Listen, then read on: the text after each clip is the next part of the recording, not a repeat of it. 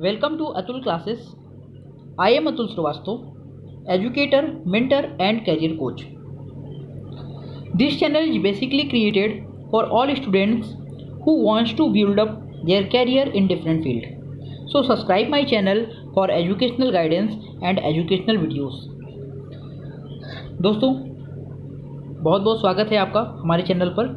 अब देखिए मैं अपने चैनल पर कंप्लीट फ्री कोर्सेस लॉन्च कर रहा हूँ वन बाय वन अभी मेरा जो चैनल है, मेरे चैनल ने फ़र्स्ट ईयर और इंटर के फ़र्स्ट पेपर इंग्लिश का कंप्लीट कोर्स अपलोड कर दिया है.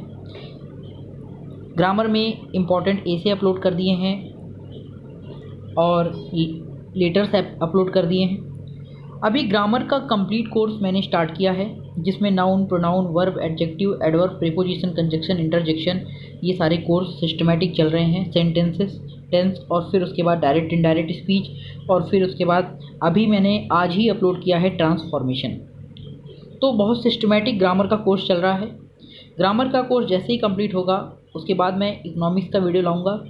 इकोनॉमिक्स और इकोनॉमी वो भी chapter wise one by one step by step, सब कुछ एकदम शुरू से। तो इकोनॉमिक्स के बाद इकोनॉमिक्स उन लोगों के लिए जो एलेवेंथ या ट्वेल्थ में इकोनॉमिक्स से हैं बीए कर रहे हैं, या फिर सीए वाले बच्चे स्पेशली सीए स्टूडेंट्स उनके लिए इकोनॉमिक्स है प्लस गवर्नमेंट जॉब के बच्चे जो इकोनॉमिक्स सीखना चाहते हैं, वो हमारे चैनल के साथ जुड़ जाएँ। हैंड रिटेन नोट्स या टाइप्ड नोट्स आपको प्रोवाइड होते रहेंगे, और उसके वीडियो लेक्चर आपको free of cost chapter by chapter मिलते रहेंगे। इकोनॉमिक्स के जस्ट बाद हम लोग लॉ पे बात करेंगे, फिर पॉलिटी का लेक्चर आएगा हिस्ट्री का लेक्चर आएगा जोग्राफी का लेक्चर आएगा। हर सब्जेक्ट पर स्टेप बाय स्टेप मैं वीडियो बनाऊँगा और कंप्लीट लेक्चर आप अपलोड करूँगा अपने चैनल पर। तो मेरे चैनल के साथ जुड़कर आप सब्जेक्ट को बिना किसी फ़ीस दिए सीख सकते हैं दोस्तों। तो अभी जो दूसरा कोर्स मैं लॉन्च करने जा रहा हूँ, वो है बिज़नेस स्टैटिस्टिक्स ये course eleventh twelfth commerce ninth tenth में साइंस साइड वाले स्टूडेंट्स एलेवेंथ ट्वेल्थ कॉमर्स वाले स्टूडेंट्स और साथ ही साथ सीए स्टूडेंट्स जो फाउंडेशन में हैं प्लस आप अगर ग्रेजुएशन में हैं, वहाँ पर भी बिज़नेस स्टैटिस्टिक्स जिस भी क्लास में आ रही है तो आप सभी लोगों के लिए ये कोर्स शुरू हो रहा है। तो बिज़नेस स्टैटिस्टिक्स अगर आपको भी समझ में नहीं आती, आपको भी कठिन लगती है, अगर आप बीकॉम में हैं, और फ़र्स्ट ईयर इंटर में हैं सी ए फाउंडेशन का कोर्स कर रहे हैं। बिज़नेस स्टैटिस्टिक्स का रिवीजन आप इससे करिए। आप इससे नोट्स बनाइए। दोस्तों, मैं गारंटी लेता हूँ, आपको स्टैटिस्टिक्स पूरी समझ में आएगी, कहीं भी कोई प्रॉब्लम नहीं आएगी। और बहुत आराम से आप स्टैटिस्टिक्स को सीख सकेंगे। हर सब्जेक्ट में आपको बहुत आराम से और अच्छे से सिखाने की कोशिश करूँगा अपने इस कुछ नोट्स के द्वारा।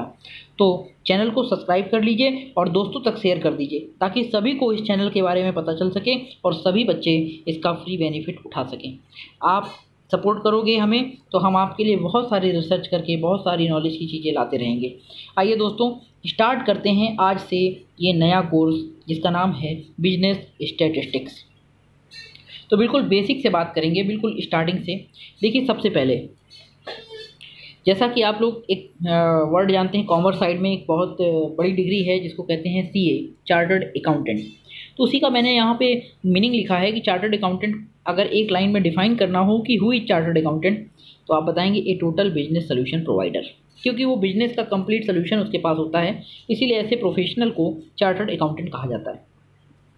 आइए अगला पॉइंट बात करते हैं बिज़नेस देखिए स्टैटिस्टिक्स की बात हुई है तो बिज़नेस को समझना भी बहुत ज़रूरी है, क्योंकि ये बेसिकली ये जो है, वो है बिज़नेस स्टैटिस्टिक्स तो बिज़नेस स्टैटिस्टिक्स को समझने के लिए बिज़नेस को समझना बहुत ज़रूरी होगा सबसे पहले, फिर स्टैटिस्टिक्स को समझेंगे। तो पहले बिज़नेस की बात करते हैं।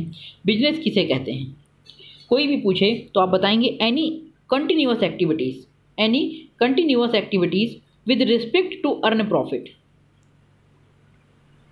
called business अगर कोई लगातार कोई काम आप कर रहे हैं डेली कर रहे हैं, किस उद्देश्य से? With respect to earn profit profit कमाने के उद्देश्य से।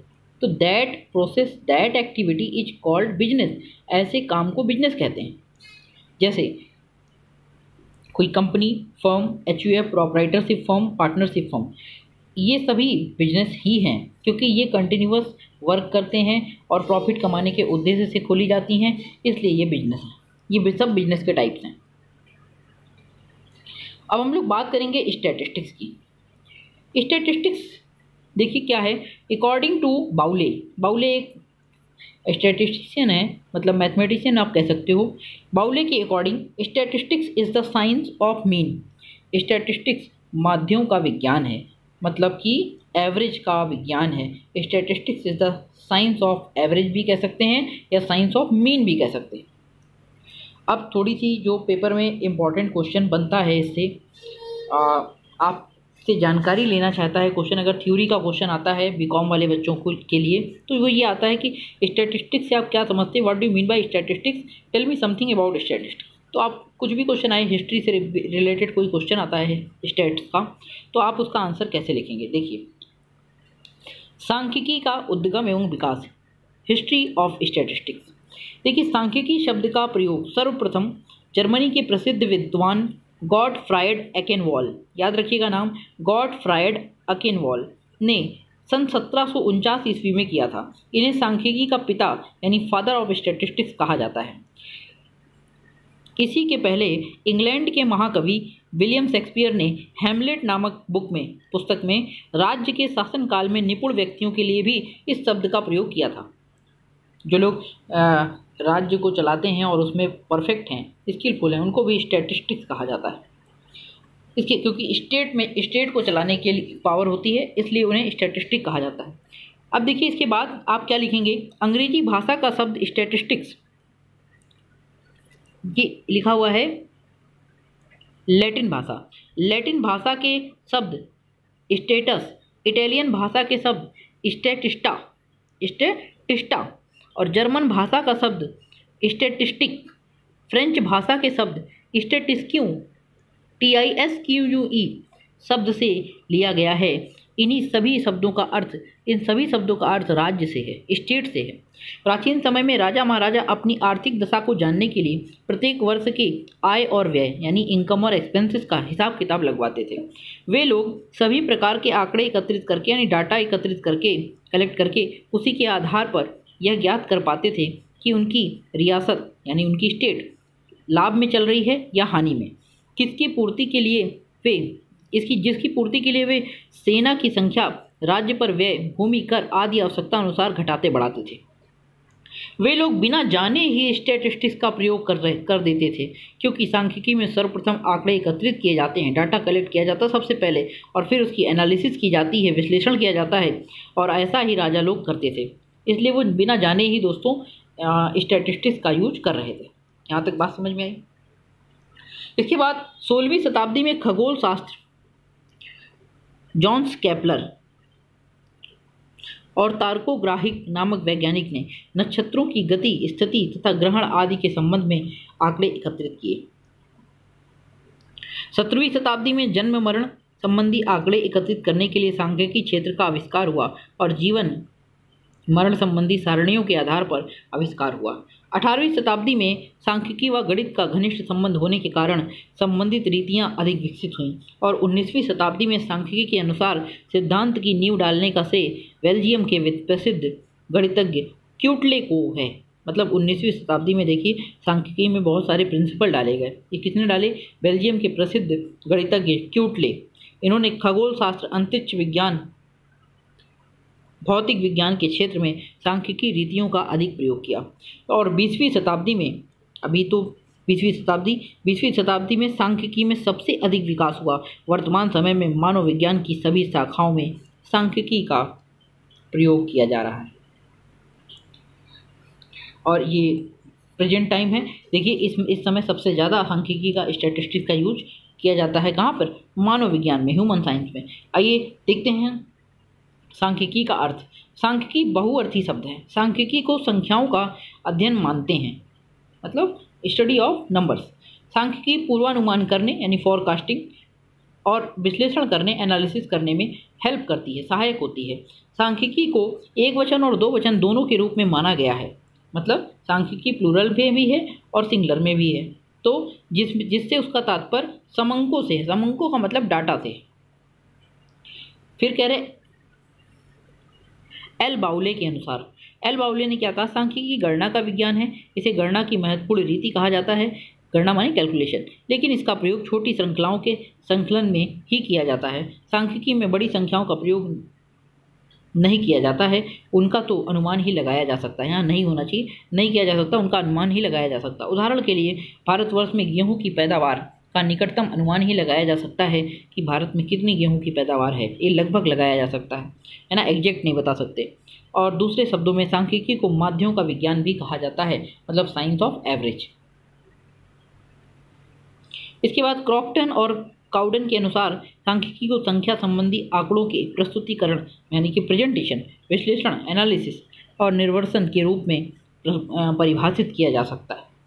निर्वाचन यानी इलेक्शन के रूप में परिभाषित किया जा सकता है। फिर आधुनिकतम परिभाषा प्रेजेंट टाइम की क्या परिभाषा है सांख्यिकी की? देखिए, सांख्यिकी वह कला या विज्ञान है जो किसी भी अनुसंधान क्षेत्र में सामाजिक, प्राकृतिक और आर्थिक आर्थिक से संबंधित आंकड़ों को विभिन्न कारणों से प्रभावित होते हैं। फिर वर्ग, वर्गीकरण सारणी, प्रस्तुतिकरण विश्लेषण, निर्वचन यानी और पूर्वानुमान से संबंध रखता है सांख्यिकी, ताकि निश्चित उद्देश्य, निर्धारित उद्देश्य की पूर्ति हो सके। तो ये सांख्यिकी है। सांख्यिकी गणना का विज्ञान है। सांख्यिकी से हम लोग कैलकुलेशन करते हैं। किसी डाटा को एक कलेक्ट करके उसके बेसिस पे रिज़ल्ट निकालते हैं। तो दोस्तों, यही सब सांख्यिकी के काम हैं। जैसे आप कभी कोई सुनते हैं न्यूज़ कि भारत देश में इतने लोग फ़ोन यूज़ करते हैं। भारत देश में इतने रुपए का वो एक्सपोर्ट होता है या इतने रुपए का इम्पोर्ट होता है, इतनी जनसंख्या अच्छी है, इतनी जनसंख्या ख़राब है, कुछ भी ऐसा डाटा आप जब पढ़ते हैं तो ये स्टैटिस्टिक्स का यूज़ करके इस प्रकार के रिजल्ट्स दिए जाते हैं जो न्यूज़पेपर में आप पढ़ते हैं। तो यहाँ स्टैटिस्टिक्स ही काम आती है। महंत जड़ता का नियम, यह नियम सांख्यिकी नियमन, नियमत्ता, नियम का उपमेय है। ओके, ये स्टैटिस्टिक से रिलेटेड रूल है। न्यायदर्श के अनुसार न्यायदर्श जितना अधिक बड़ा होगा, न्यायदर्श माने सैंपल सैंपल जितना अधिक बड़ा होगा, शुद्धता भी उतनी बड़ी होगी। बड़ी संख्याएँ, छोटी संख्याओं की अपेक्षा अधिक स्थिर और अपरिवर्तनशील होती हैं। मतलब बड़ी संख्या ज़्यादा स्टैटिक होती हैं। और बाकी छोटी संख्या फ्लैक्चुअल होती हैं। क्योंकि एक समूह की इकाइयाँ लगातार परिवर्तनशील होती है, किंतु पूरा समूह धीरे धीरे करके बदलता है। इसलिए बड़ी संख्याएँ कम बदलती हैं, छोटी संख्या ज़्यादा बदलती हैं। वेरी गुड यहाँ तक समझ में आ गई बात? तो दोस्तों, अगर यहाँ तक बात समझ में आ गई है तो ये तो था हमारा लेक्चर वन स्टैटिस्टिक्स का। इसको शेयर करिए और सब्सक्राइब कर दीजिए चैनल को। और अधिक से अधिक लोगों को बताइए इस चैनल के बारे में। ये चैनल आपके लिए ही बनाया गया है। इन स्पेशली इन कोर्सेज़ के लिए ये चैनल हमेशा डेडिकेटेड रहेगा, जो आपके सामने दिख रहे हैं। प्लस साथ ही साथ आपको कैरियर गाइडेंस के वीडियोस टेक्निकल स्किल्स के वीडियोस और आप लाइफ में कौन कौन से कोर्सेज कर सकते हैं, कितनी टाइप के कोर्सेज ऐसे हैं, जो प्रेजेंट टाइम के अकॉर्डिंग अगर किए जाएँ तो लाइफ सिक्योर हो सकती है। अच्छे अर्निंग के साधन क्रिएट हो सकते हैं। इन सब पे मैं बात करूँगा और इन सब पे मैं वीडियो धीरे धीरे बनाऊँगा ताकि जितना सेवा हो सकती है मेरी, हम आप लोगों के लिए हमेशा करते रहेंगे। ओके दोस्तों, जय हिंद, नमस्कार। फिर मिलेंगे नेक्स्ट वीडियो में चैप्टर नंबर टू के साथ, यानी लेशन नंबर टू या लेक्चर नंबर टू के साथ स्टैटिस्टिक्स के लेक्चर के साथ और प्लस ग्रामर के लेक्चर के साथ। तब तक के लिए धन्यवाद। Thank you very much for watching the video and bye take care